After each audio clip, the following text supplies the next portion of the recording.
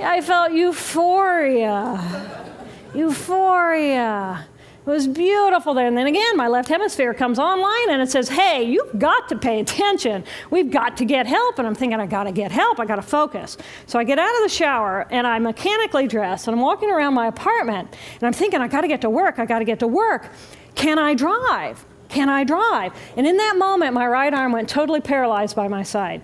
Then I realized, oh my gosh, I'm having a stroke. I'm having a stroke. And then the next thing my brain says to me is, wow, this is so cool. this is so cool. How many brain scientists have the opportunity to study their own brain from the inside out?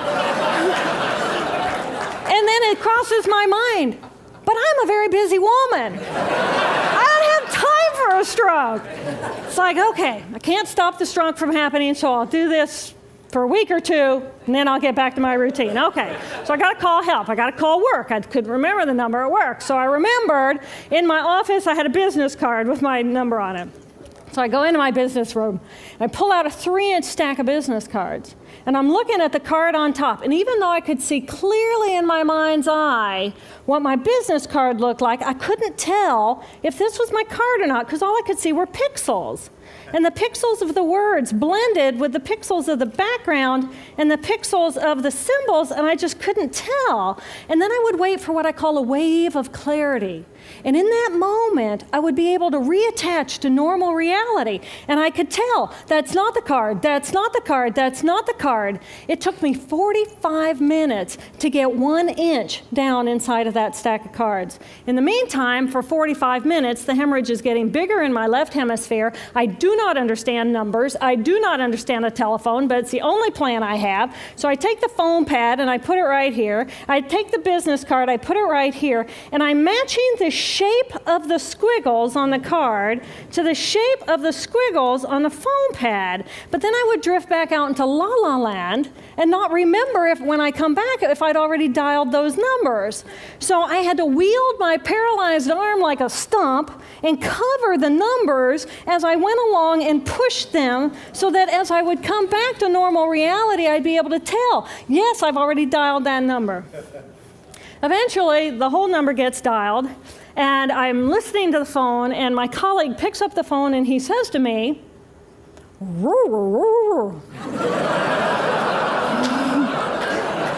I think to myself, oh my gosh, he sounds like a golden retriever. And so I say to him, clear in my mind, I say to him, This is Jill, I need help. And what comes out of my voice is, and I think, oh my gosh, I sound like a golden retriever. So I couldn't know, I didn't know that I couldn't speak or understand language until I tried. So he recognizes that I need help, and he, and he gets me help. And a little while later, I'm, I'm riding in an ambulance from one hospital across Boston to Mass General Hospital and I curl up into a little fetal ball. And just like a balloon, with the last, last bit of air just, just right out of the balloon, I just felt my energy lift and just, I felt my spirit surrender.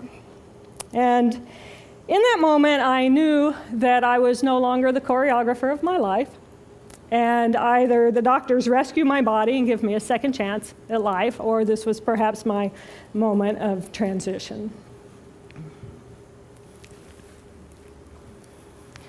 When I woke later that afternoon, I was shocked to discover that I was still alive when I felt my spirit surrender, I said goodbye to my life, and my mind was now suspended between two very opposite planes of reality. Stimulation coming in through my sensory systems felt like pure pain.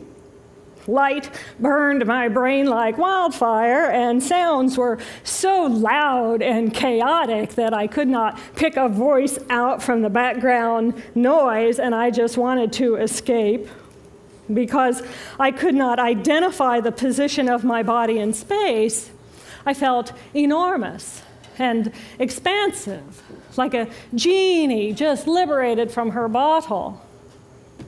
And my spirit soared free like a great whale gliding through a sea of silent euphoria.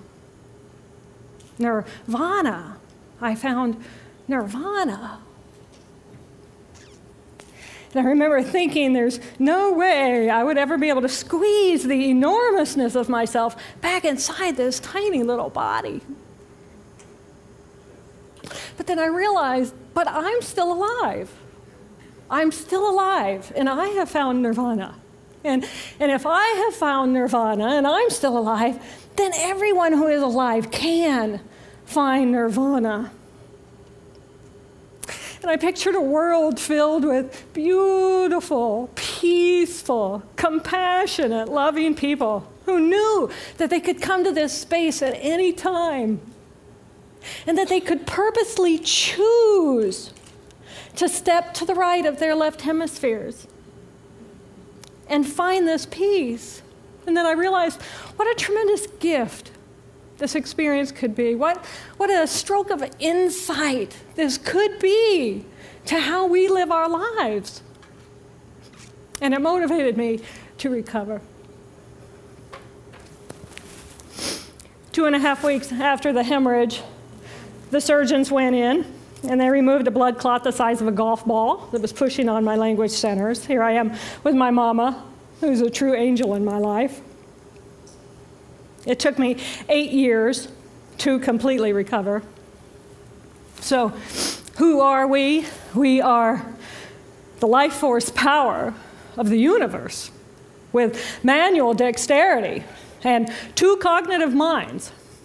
And we have the power to choose moment by moment who and how we want to be in the world. Right here, right now, I can step into the consciousness of my right hemisphere where we are. I am the life force power of the universe. I am the life force power of the 50 trillion beautiful molecular geniuses that make up my form, at one with all that is.